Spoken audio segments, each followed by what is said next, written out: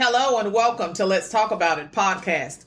I am your host, Apostle Rosemary of RCN Ministries and OSGA Apostolic Network, along with my wonderful husband, Apostle Herbie.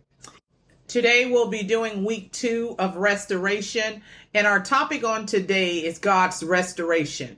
We will be coming to you today with scripture um, coming from the book of Hebrews, chapter 10, verses 19 to 25 and this is the amplified um, translation.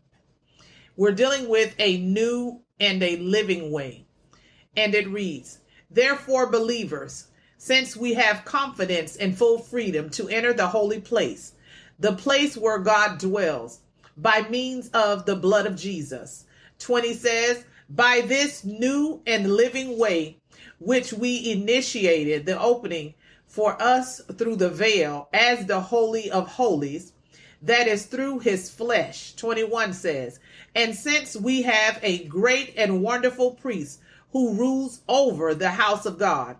22 says, Let us approach God with a true and sincere heart and unqualified assurance of faith, having had our hearts sprinkled clean from an evil conscience our bodies washed with pure water. 23 says, Let us seize and hold tightly the confession of our hope without wavering, for he who promised is reliable and trustworthy and faithful to his word. 24 says, And let us consider thoughtfully how we may encourage one another to love and to do good deeds. 25 says, not forsaking our meeting together as believers to worship and instruct, as it is the habit of some, but encouraging one another, and all the more faithfully as you see the day of Christ's return approaching. I want to I want to touch on something here we're going to say to you this morning that verse 23 is the key verse. Let us seize and hold tightly the confession of our hope without wavering. For he who promised is reliable and trustworthy and faithful to his word. The word of God will not go out void. If God said it, it shall come to pass.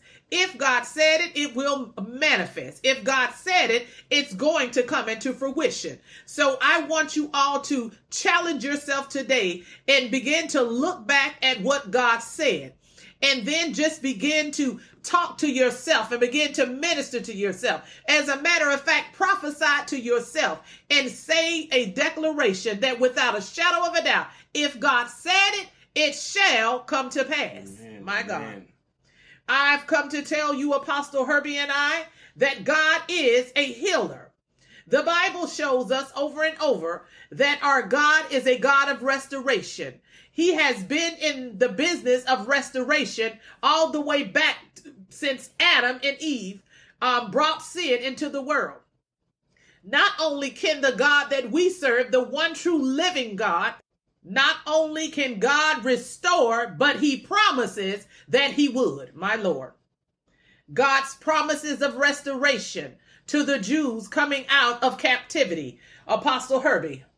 My people will receive a double portion, and so they will inherit a double portion in their land, an everlasting joy in their heart. Isaiah chapter 61 and verse 7. And the NIV. Locusts had ruined years of crop, and, and the farmers were desperate. So I will restore to you the years that the swarming locust has eaten. You will have plenty to eat until you are full, and you will praise the name of the Lord your God, who has worked wonders for you. Joel chapter 2 verse 25 and 26 in the New King James Version. He promised the restoration of the nation of Israel. God's restoration through Christ. In John chapter 16 and verse 33 in the NIV translation, and it reads, I have told you these things so that in me you may have peace. In this world, you will have trouble, but take heart. I have overcome the world. The Lord wants us to know that no matter what it looks like, no matter what we have to endure, no matter what we're going through in this season, He wants us to know that we are overcomers. Why? Because He has already overcome this world. Having been justified by faith, we have peace with God through our Lord Jesus Christ, according to Romans 5 and 1. We have an abundant life in Christ. He also reminds us of the abundant nature of his restoration. According to John chapter 10 and verse 10, this is the ESV translation. The thief comes only to steal and to kill and to destroy. I came that they may have life and have it more abundantly. My God. The word Jesus used for abundantly meant over and above, more than is necessary and supreme. The Lord will guide you continually and satisfy your desire in scorched places and make your bones strong. And you shall be like a watered garden, like a spring of water whose water does not fail, according to Isaiah 58 and 11 in the ESV. God restores my soul, according to Psalms 23, verses 1 through 3 in the NIV. The Lord is my shepherd, I shall not want. He maketh me to lie down in green pastures. He leads me beside the quiet waters. He restores my soul. God can restore what is broken. He loves us like no other. So cast all your anxiety on him because he cares for you, according to 1 Peter chapter 5 and verse 7 in the NIV. Spiritual restoration. The Spirit of the Sovereign Lord is on me because the Lord has anointed me to preach good news to the poor. He has sent me to bind up the brokenhearted, to proclaim freedom for the captives and release from darkness for the prisoners, to comfort all who mourn and provide for those who grieve in Zion, to bestow on them a crown of beauty instead of ashes, the oil of gladness instead of mourning, and the garments of praise instead of despair, according to Isaiah chapter 61 and verse 1 to 3 in the NIV.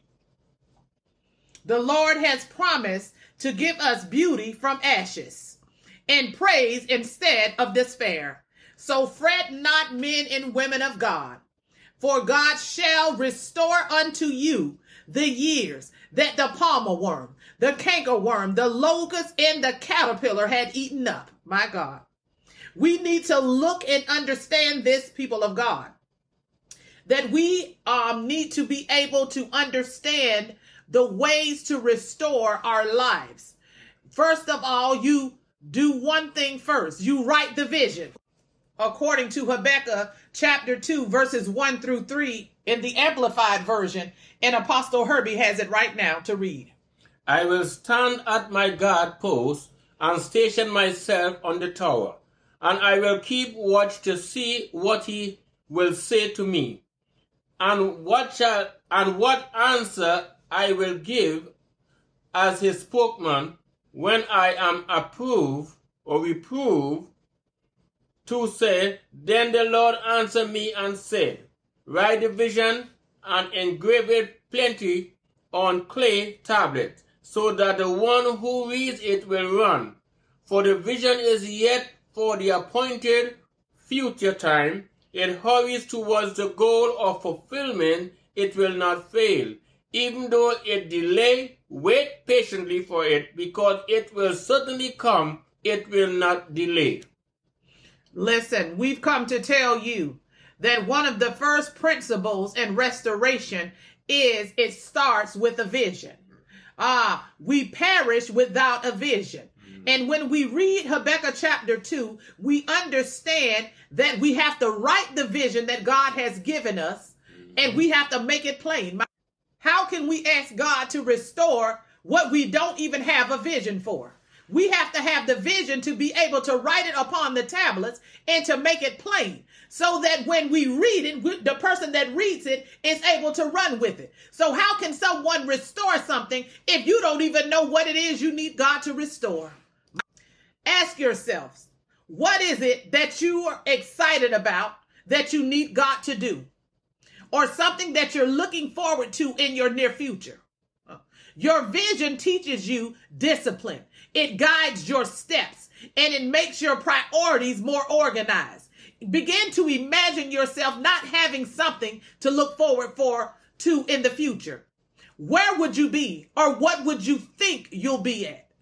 And what would you think you'd be doing? You can lose stuff and recover them, but not without vision. Because without it, we cast off restraint. My God. If you don't want to waste time on unimportant things, have a vision. And even if it takes a long time to fulfill that very vision, don't give up on it. Huh. Don't give up on it in the in between time. Don't give up on it in the hard times. Don't give up on it in the times of waiting. But nevertheless, hold fast to that vision. Hold fast to what God has shown you. Believe in what He has shown you. Imagine the greater things God has for you in your hour that He will restore all things back into your life. Be patient. Be patient, waiting on your restoration for your life. Be passionate about it. Uh, be optimistic about it. Don't lose sight when the road gets rocky. Don't lose sight, but grab a hold of your passion and pursue God and pursue your vision. Don't forget to do the things that you love. You become pessimistic about things and get easily discouraged by simple failures. But fret not, man and woman of God. Just know that as long as you have a vision and as long as you pursue God, it shall manifest. God shall bring the restoration into manifestation and fruition. You've got to stay focused in this season. Having your focus helps you to restore your life. You can accomplish much if you stay focused in your life. But if you allow yourself to get distracted, if you allow yourself to begin to refrain from being concerned about everybody else uh, to the point that you no longer have time to tarry or to seek God concerning your vision, then guess what? You've lost sight of your vision and it cannot come to pass. You've delayed your restoration, my God. Believe in the dreams, in the vision that God has given you. Believe in your goals. Be consistent and believe that God had given you this vision. He had given you this dream and it shall come back and he shall restore it back unto you. Stand in God while you stand on God and stand in faith. Don't forget your first love. Restoring life might not be that easy, but with God, nothing is impossible. Whatever is in your heart never left your first love. That is Jesus, who died on the cross for you and I out of love. We have to put God first in everything that you do and in anything that you do. Begin to remind yourselves of the wonderful things that Christ Jesus did when he laid down his life and ransomed his soul to redeem all of mankind. Six. Be productive and fruitful. One key, one key to restore life is to be productive and fruitful. There are many opportunities in front of you. You only fail to recognize them because you are too focused on other people's harvest. Always remember that being fruitful means being patient. You might not yet see the fruit of your labor, but understand that you have a different season. So don't compare the harvest time to your sowing. Mm. have faith because faithful people tend to be more successful. Have a spiritual sharpness. A person with spiritual sharpness is not making excuses. So stop hiding in your insecurities. Stop hiding in your cage. Stop being a coward. Instead, pray that God will bring alignment back in your life. Pray for a sovereign more a move of God. Know that He can restore and bring a full recovery in life. What He needs is only your full cooperation. If you if you are that eager to restore your life, position yourself in the right place. Make God the center of your life, for He is the source of blessing and the source of all kind of breakthrough. By His side, you will experience a full recovery. By his side, you will experience a full restoration Mm. of all things. The things that you think you've lost, the things that have been delayed, the things that have been hindered, and the things that the enemy thought that he had annihilated in your life yes, shall come into fruition. But I want to touch on something here that Apostle Herbie was reading here. Um, pray for a sovereign move of God. Know that he can restore and bring a full recovery in your life. What he needs is only your full cooperation. Yes. Ah, we need to understand something. This last one is key. If you're that eager to restore your life, I want y'all to catch this in the realm of the spirit. Position yourselves Oh, no. in the right place. Yes. I'm going to say that one more time. Position yourselves in the right place. Mm. See, many of you can't come into a full restoration from God because you're not in position. Come on. You haven't positioned yourselves in the right place. You're out of position. You're out of an alignment. You're out of your assignment. You're out of your mandate. My God. God cannot bless you in your mess. So position yourselves in the right place, said the Lord thy God. We thank you all for joining us this morning on Let's Talk About It podcast. Yes. Apostle Herbie and I pray that you all have been blessed on this message on today that the Lord has given us to minister to you with here on our podcast on God's restoration. May God bless you and may God keep you until next Wednesday. And if you haven't yet, follow our um, podcast. Um, you can go to our website, rcnministries.com. It'll take you there. Um, the, the podcasts are there. Um, you can also Google us. We're all over Google. Um, you can also look for us and follow us. Make sure you follow our podcast. Follow us on every on every platform. I'm talking Apple, Spotify, Google, um, Amazon Music. I think it is wherever it is. Just follow us and just be a part of what God is doing. Um, just follow us on our websites um, and make sure you go and subscribe.